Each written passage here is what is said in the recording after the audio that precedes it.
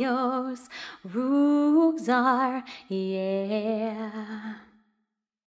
One happy birthday dot com.